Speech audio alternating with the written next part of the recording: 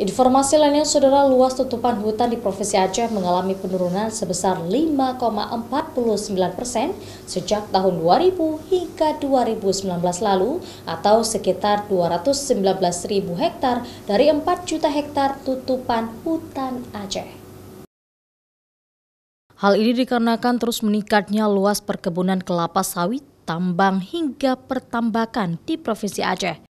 Data Map Biomas Indonesia merincikan peningkatan luas hutan tanaman mencapai 12.000 hektar. Perkebunan kelapa sawit sebesar 330.000 hektar, tambang 300 hektar, dan tambak sebesar 7,4 ribu hektar. Tim leader Map Biomas Indonesia Timer Manurung menyebutkan tidak hanya Aceh, pemanfaatan lahan di wilayah Sumatera pun relatif tinggi pada sektor perkebunan sawit, tambang, dan juga tambak.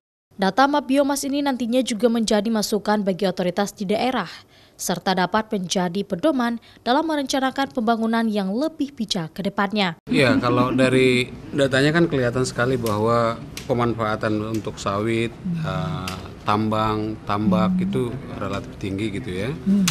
Dan uh, yang kami bayangkan dengan atau yang kami impikan dengan mak biomas adalah itu menjadi masukan yang dipakai oleh otoritas uh, untuk melakukan atau merencanakan pembangunan secara lebih bijak gitu ya. Pemerintah Indonesia terus berupaya untuk mempertahankan luas tutupan hutan sebagai upaya menurunkan emisi gas rumah kaca serta memenuhi target yang telah ditetapkan untuk mengatasi perubahan iklim global. Data dari Kementerian Lingkungan Hidup dan Kehutanan luas tutupan hutan Indonesia tahun 2021 mencapai 95,6 juta hektar atau sekitar 51 persen dari luas daratan. Jumlah ini membuat Indonesia menjadi negara penting dalam mengatasi perubahan iklim. Syahril, Kompas TV, Panda Aceh.